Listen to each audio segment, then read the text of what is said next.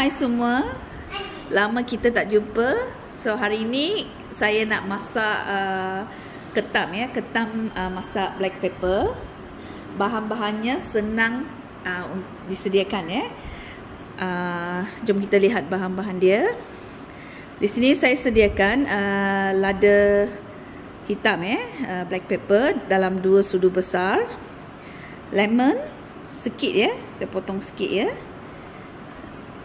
Uh, yang ini pula serbuk kunyit satu sudu kecil daun kari dua tangkai uh, serbuk cili eh.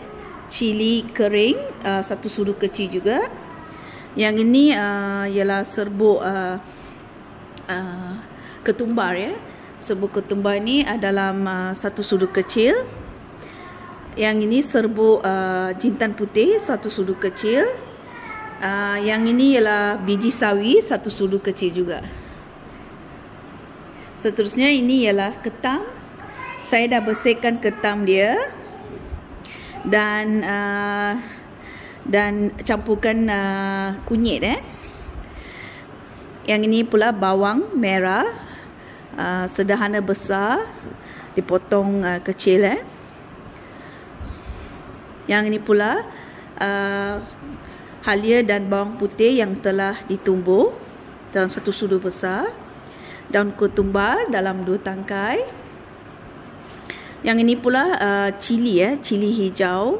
Uh, saya gunakan dalam satu dan juga cili padi dalam dua eh.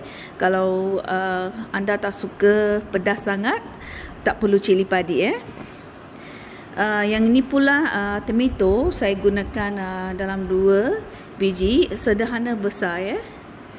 So sekarang kita lihat cara memasak uh, ketam lada hitam.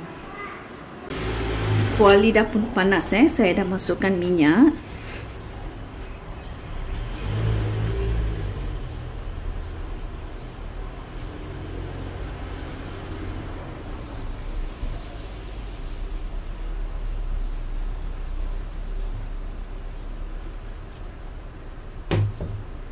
Sekarang saya akan masukkan biji sawi.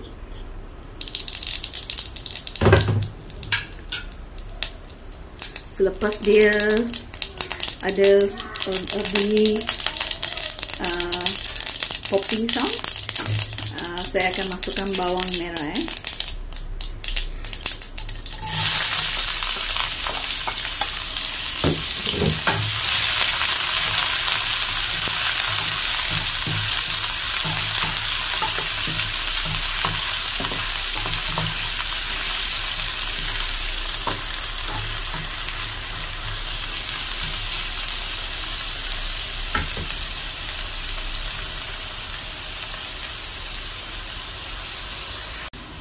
Seterusnya selepas bawang dah uh, tukar warna sikit eh kita boleh masukkan uh, tomato eh.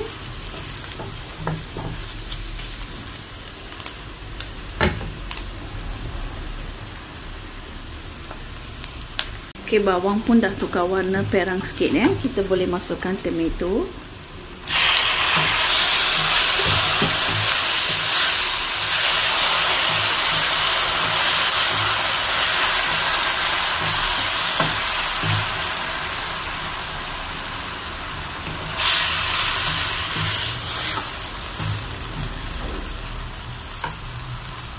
juga halia dan bawang putih eh, yang telah ditumbuk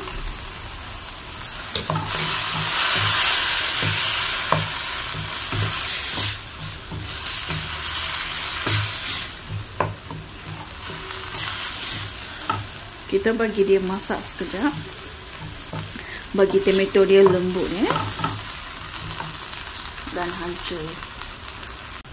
Dah tomato ni dah hancur eh. Sekarang saya akan masukkan daun kari.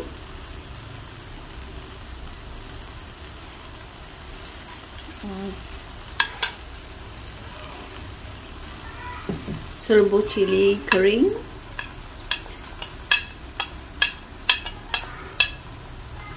Hmm, serbuk daun ketumbar, serbuk ketumbar eh. Serbuk jintan putih serbuk kun uh, serbuk lada hitam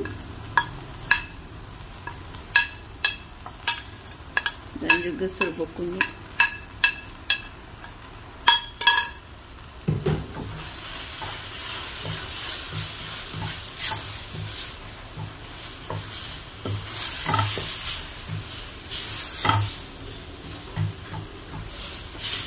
campurkan semua. Dan saya akan tambahkan sedikit air. Supaya dia ada gravy dia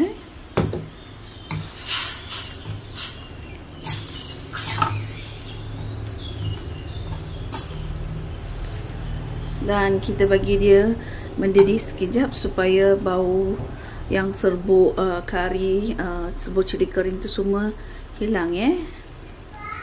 Dan sekarang saya akan masukkan cili hijau dan cili padi.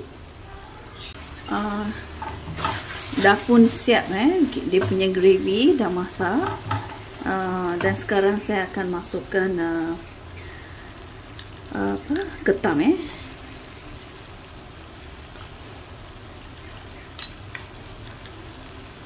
Ketam ni ketam kecil eh, tak besar sangat. So saya gunakan dalam sekilo eh. So kita gaulkan dia betul-betul. So dia punya gravy memang uh, uh, kena semua uh, ketam eh. Sebati eh.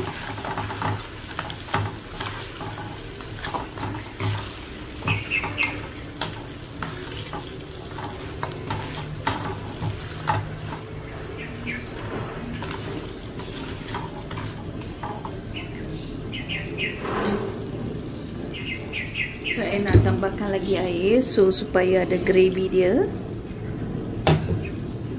Dan saya akan perahkan lemon eh. Jus lemon.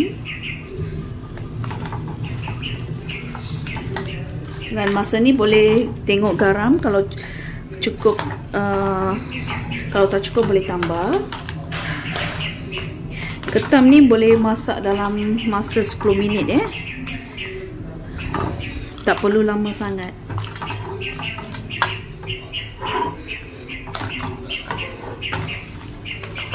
So kita biarkan dia masak.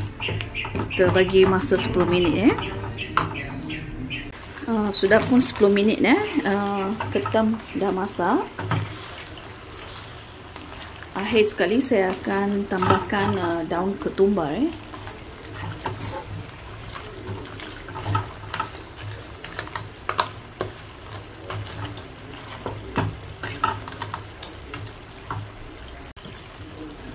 dan sekarang saya akan masukkan ke daun ketumbar. Dah pun siap uh, ketam lada hitam eh. Saya tutupkan api. Uh, ok dah pun siap eh. Uh, ketam lada hitam. Uh, anda boleh cuba di rumah. Dan kita jumpa untuk resipi yang akan datang. Bye